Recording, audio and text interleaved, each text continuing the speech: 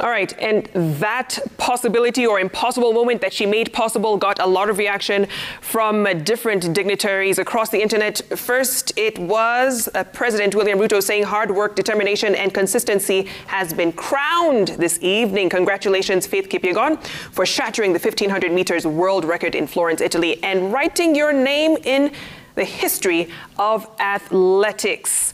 Um, we also heard from Azimio la Umoja leader Raila Odinga saying, Faith Kipyegon, congratulations on your fantastic and spectacular feat of breaking the 1500 meter world record at the Florence Diamond League.